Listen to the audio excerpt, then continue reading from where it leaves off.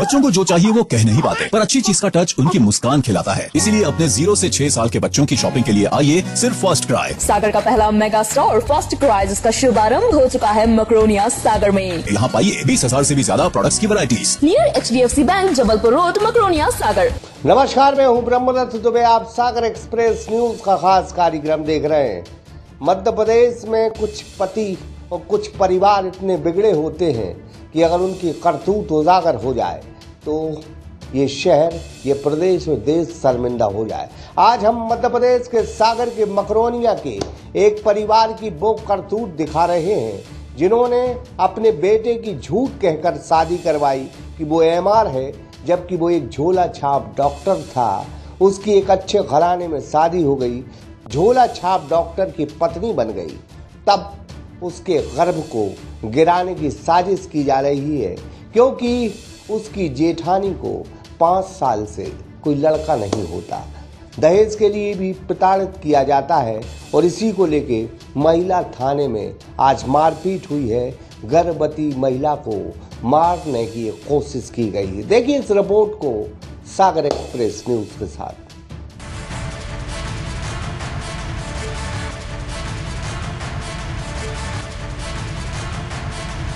दहेज के दरिंदे क्या क्या कर सकते हैं आप सोच नहीं सकते। एक तस्वीर मध्य प्रदेश के सागर की है, जहाँ गर्भवती महिला को उसका पति और ननन, जो कि पुलिस आरक्षक हैं, सरेआम महिला थाने में पीट रहे हैं।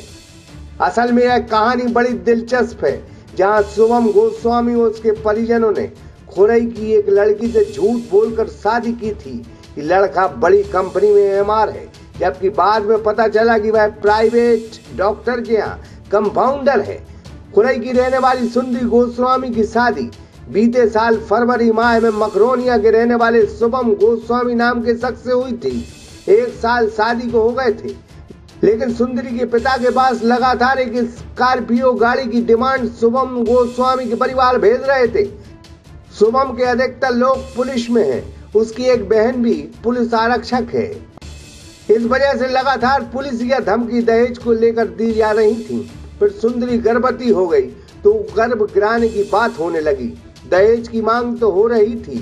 साथ में सुंदरी से यह कहा गया कि वह अपना गर्भ गिरा दे, क्योंकि उसकी जिठानी को पाँच सालों से कोई संतान नहीं थी। पहले सुंदरी की जिठानी के यहाँ बच्चा होगा उसके बाद सुंदरी बच्चा पैदा कर सकती है। आलम यह रहा कि सुंदरी को दवाएँ खिलाई जाने की कोशिश करने लगी ताकि उसका गर्भ गिर जाए। मारपीट करी बहन के संग कमरा में छेद के रखो। बहन ने झूठी कही कि चलो हम घरे जाके बच्चा गिरवा दे हैं घरे आ गई फिर उन्होंने स्थिति बताई। फिर हम लोग गए तो हम लोग के साथ मारपीट करी। नहीं तो ये क्यों करवाना चाहती थी गर्भपात गर्भपात के? हमारी बड़ी बहू के लिए बड़ी बड़ी बहू के बच्चा नहीं हुआ है पाँच साल शादी को होगा छोटी बहू के हो जाएगा तो लोग हंसेंगे मोहल्ला वाले। इसलिए उसका गर्भपात कराने की कोशिश जब उसने ऐसा करने से इनकार किया तो उसे पीटा जाने लगा। उसने आज महिला थाने में आकर अपने पति ननद और परिजनों के खिलाफ शिकायत की। बेसिकली परामर्श के लिए हम यहाँ आए थे तो मीना हमारी ननद और पति सास ससुर द्वारा हमारे हमें जान से मारने की धमकी दी गई और हमसे अपशब्द बोले गए बोले कि चप्पल मारूँगी तो किसका बच्चा पाल रही है? धुआँ झपटी हुई है क्या करते हैं लड़का पुलिस में है। वास्तविक में क्या है? मीना मीना गोस्वामी। ये कौन है? हाँ। ये पुलिस। में है। कहाँ पे? वही हद तो तब हो गई जब आठ माह की गर्भवती सुंदरी को महिला थाने में उसके पति और ननन जो कि पुलिस आरक्षक है उसे सरेआम थाने में पीटने लगे। पुलिस अब इस मामले में जाँच कर कार्रवाई की बात कर रही है। ये उसके रिपोर्ट पर जो है फोर नाइन्टी एट ए चार सौ छः तीन चार दहेज एक्ट उसके पति सास ससुर और नंद के विरुद्ध अभी वर्तमान में कायम किया जा रहा है। तो ये पाया गया कि ये जो इसका पहले काउंसलिंग की जा रही थी तो काउंसलिंग में इनके बीच कोई आपसी तालमेल नहीं हुआ। और इनके बीच जो महिला थाने के बाहर आपस में विवाद विवाद हुआ, उस पर से फिर इन्हें कायमी नहीं की जा रही है पति के खानदान के अधिकतर सदस्य पुलिस में। उसकी वजह से रंगदारी में उनके हौसले इतने बड़े कि वो गर्भवती महिला को थाने में ही पीटने लगे।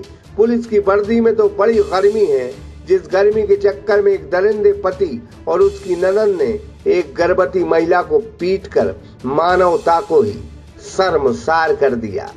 हम तो फिर कहेंगे, अगर बर्दी की गर्मी देखना हो तो आओ कभी सागर, जहाँ हम सब कुछ बर्दी के साथ दिखाएँगे कि कितनी गर्मी है बर्दी में और कितनी रंगदारी है वर्दी में। जितेंद्र श्रीवास के साथ Ikram Khan, Sagar express news Makhronia Sagar express news?